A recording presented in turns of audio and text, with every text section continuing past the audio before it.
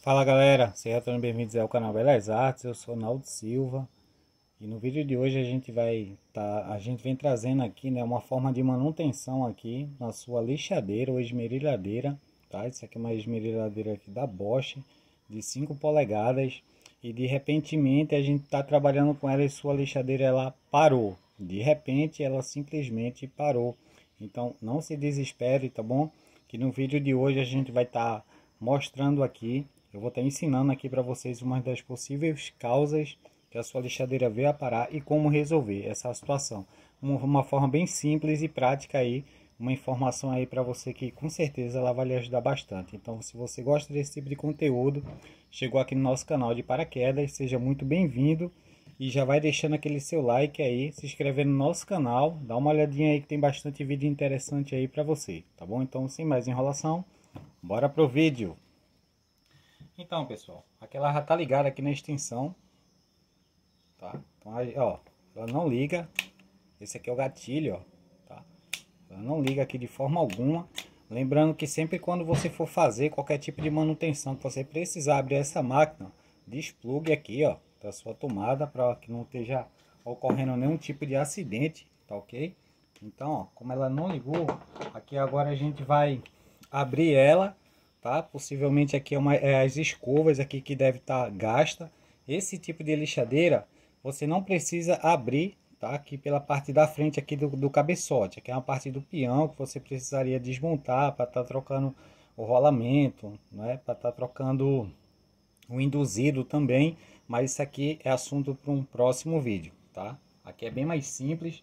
Então, nesse tipo de lixadeira, você só precisa remover, ó, esse parafuso aqui na parte de trás, onde tem aqui a regulagem dela. A gente vai estar tá fazendo essa remoção aqui agora, mostrando aqui para vocês.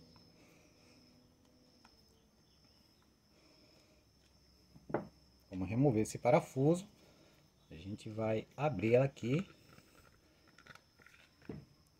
E aqui, ó, nesse pontozinho aqui, vocês vão precisar de uma chavinha também, ó, com uma pontinha fina, uma chave de fenda, pode ser até estrela, de, depende muito de como que é o parafuso. Então aqui onde tem essa molinha, ó, é onde a gente vai remover aqui as escovas para a gente ver qual que é a situação dela. Você levanta aqui, ó, puxa, já está solta. Olha a situação que ela se encontra. Então, ó, ela já está bem gasta. Ela tem essa molinha aqui, ó. Essa molinha ela não pode estar tá encostando aqui no induzido, porque senão ela pode empenar as paletas seu induzido e vir a danificar. E você vai precisar fazer uma nova troca, tá ok? Deixa eu remover aqui a outra aqui do outro lado. Ó, é bem simples, ó. Aqui vocês vão ó, apenas desconectar aqui desconectou. Você vem aqui, ó, sobe, sobe essa mola, coloca ela aqui ao canto e faz a remoção, tá ok? Isso aqui é uma escova de carbono.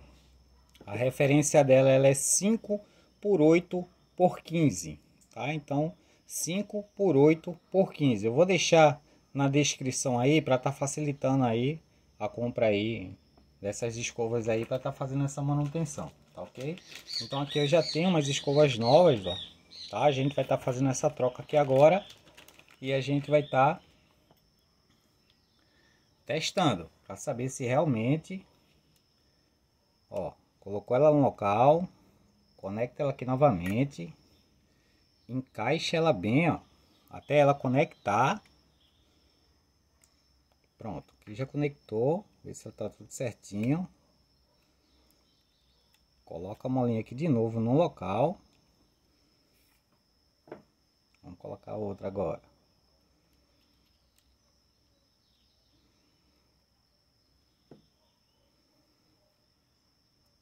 Conectou novamente a outra peça.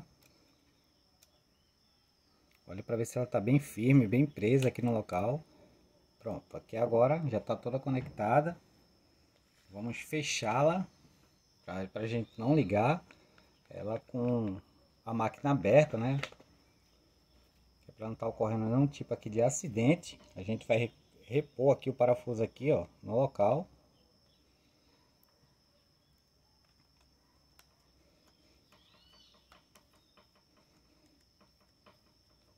Apertem bem.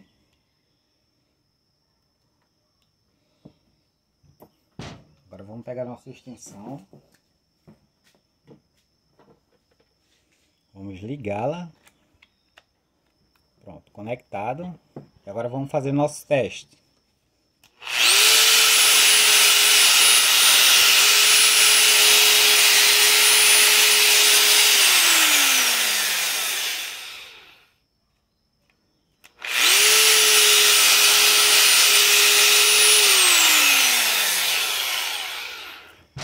Máquina funcionando, uma forma simples, prática, tá? Espero que esse vídeo tenha ajudado todos vocês aí, é, não desmerecendo, tá? O, o, o, trabalho dos profissionais que fazem esse tipo de manutenção, mas às vezes por uma situação ou outra você mesmo pode conseguir tá resolvendo aí o problema aí, tá atendendo às suas necessidades, valeu? Se gostou do vídeo, deixe o seu like. Muito obrigado por nos assistir, fiquem todos com Deus e até o próximo vídeo.